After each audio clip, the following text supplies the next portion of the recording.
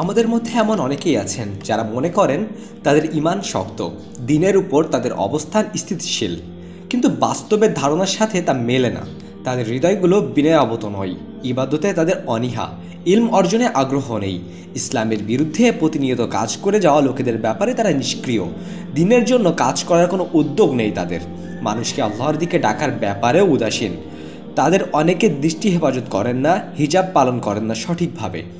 অনেকে আবার অবাধে নারী পুরুষের সাথে মেলামেশা করে। তারপরেও তারা ভাবে, আমরা বেশ ভালো আছি, দিনের উপর আছি, আমাদের ইমান মজবুত। আসলে তারা নিজেদেরকে ধোকা দিচ্ছেন। এত কিছুর পরও আল্লাহ সুবহানু তাআলা তাদেরকে দিনের উপর থাকার সুযোগ দিয়েছেন। এমন কোনো ফিতনায় ফেলেননি যা তাদেরকে দিন ইসলাম থেকে বের করে দেবে। তারা এখনও সালাত আদায় করে, সিয়াম পালন করে, ইসলামকে ভালোবাসে। চেষ্টা করে কবিরা গুনাহ থেকে বেঁচে থাকার যদি আমরা ধরে নিই যে ওপরে যে অবহেলিত কাজগুলোর কথা বলা হচ্ছে, তার মধ্যে সে কবিরা গুনার মধ্যে জড়িয়ে পড়েনি। এ কারণে দিনের প্রতি অবহেলা সত্ত্বেও আল্লাহ সুবহানু তাআলা তাদের ইসলামের নিয়ামত থেকে বঞ্চিত করেননি। হৃদায়ত থেকে বঞ্চিত হবার মতো শাস্তির মুখোমুখি তিনি করেননি। কিন্তু তার মানে এই না যে তারা কিছুই হারায়নি। দিনের প্রতি অবহেলার কারণে তারা হারিয়েছে প্রচণ্ড দামি এক নিয়ামত। যদিও এ নিয়ে তারা বেখবর।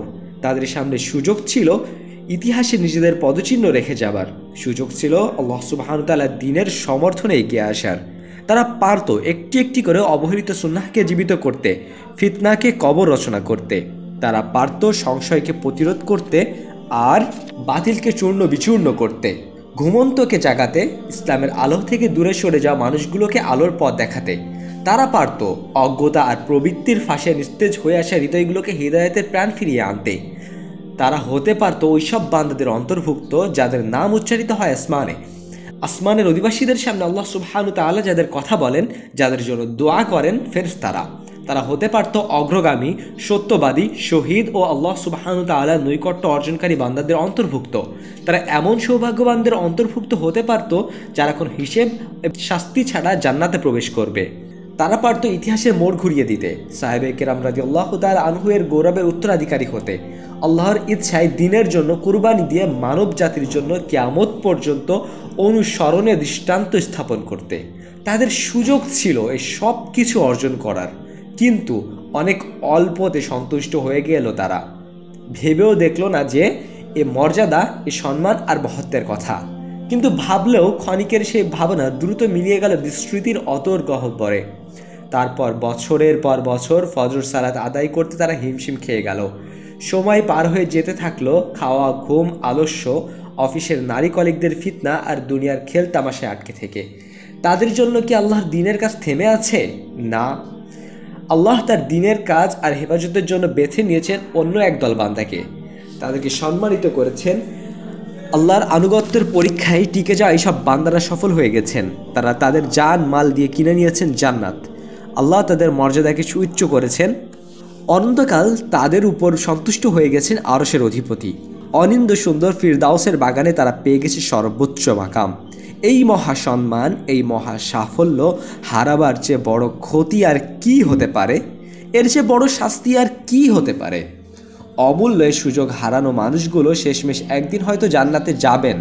কিন্তু সেই দিনের অনুসূচনার তিক্ত স্বাদ নিয়ে যেদিনকে আল্লাহ সুবাহানু তালা বলেছেন, ইয়াউমুত্তাগবুন লাভ লোকসানের দিন। আর সেই দিন, যেই দিন পাপীরা দুনিয়াতে তাদের পাপের জন্য অনুশোচনা করবে, আর সৎকর্মশীলরা আফসোস করবে, কেন দুনিয়াতে তারা আরও সৎকর্ম করল না? হে আল্লাহ, আপনার রাহমার চাদরে আমাদের ভুলগুলোকে ঢেকে দিন। অনুসূচনার সে দিনের আগে আমাদেরকে শুদ্ধানোর সুযোগ দিন। স্মরণ করো, যখন একত্র করার দিন তিনি তোমাদেরকে একত্র করবেন। সেদিন হবে লাভ লোকসানের দিন। যেদিন আল্লাহর প্রতি ইমান আনে ও সৎকর্ম করে, তিনি তার পাপ সমূহকে মোচন করে দেবেন।